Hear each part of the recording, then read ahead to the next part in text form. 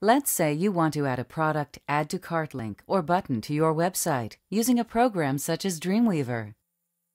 While editing a product, expand the Product Links section and copy either the two-step checkout link or the one-step checkout link to your clipboard. If you are unsure about which checkout link to use, there is a separate tutorial that will help you understand the difference between each link type. You'll notice a preview of both checkout links to the right of each field. This is essentially how the product link or button will appear after you've pasted it into your web page. Keep in mind, if you have specified a shopping cart button style from the Setup menu, you may see image buttons here instead of text links.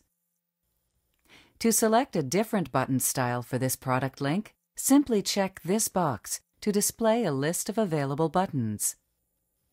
Select the button style you would like to use, and the checkout links above will be updated.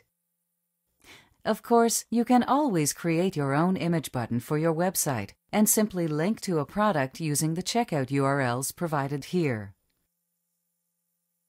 Once you have copied either the two-step or one-step checkout link to your clipboard, open up your web page in Dreamweaver and locate the area where you want your button to appear. On our web page, we've set up a simple product feature with the product photo, name, price, and description. The only thing missing is an Add to Cart button for this product. Paste the link into the HTML of your web page. This button image is hosted from our application. You may also want to link an image or text on your web page to this product link. Simply copy the two-step or one-step checkout link to your clipboard. Next, select the image or text in Dreamweaver that you want to connect and paste the checkout link from your clipboard into the target URL.